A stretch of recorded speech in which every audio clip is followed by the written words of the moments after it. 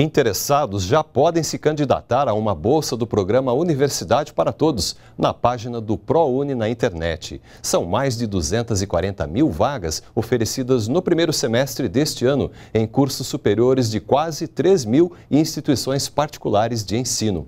O diretor de Políticas e Programas de Educação Superior do MEC, Vicente de Almeida, explica os critérios de acesso ao programa e alerta para o prazo de inscrições que termina no dia 9 de fevereiro candidato ao ProUni, a bolsista integral, precisa comprovar renda de até um salário mínimo e meio por pessoa na família.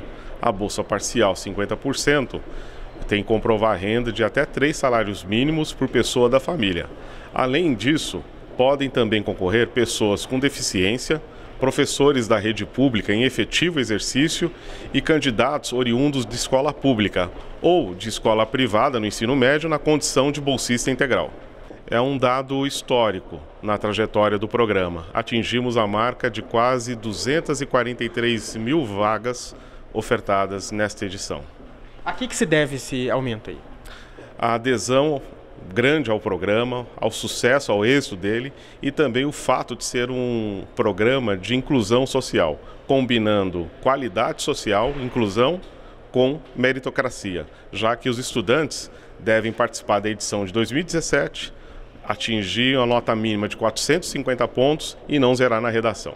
O ProUni possui duas modalidades, modalidade presencial e a modalidade à distância. E aí o estudante, conforme a sua preferência, a sua escolha, poderá optar por uma ou outra.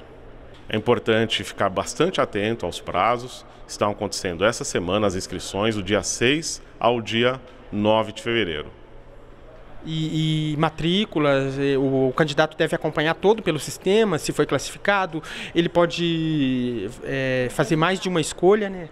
Importante ressaltar que o ProUni possui duas chamadas sucessivas. A primeira chamada dia 14 de fevereiro e a segunda chamada dia 2 de março. Então é uma, uma oportunidade excelente para o estudante tentar uma vaga no ensino superior. Agora, na segunda chamada, ele precisa é, é, é, demonstrar interesse pela vaga, é isso? As, as, são duas chamadas sucessivas, com o qual ele está concorrendo né, por meio da sua nota obtida no Enem.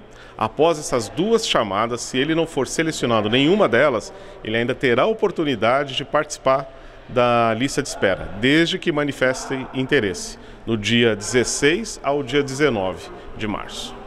O objetivo principal do programa é permitir o acesso ao ensino superior em instituições privadas. Então, ele oferta bolsas integrais e bolsas parciais. Então, tem sido um programa bastante exitoso no sentido de garantir a oportunidade ao jovem brasileiro que ainda não possui diploma de ensino superior acessar a educação.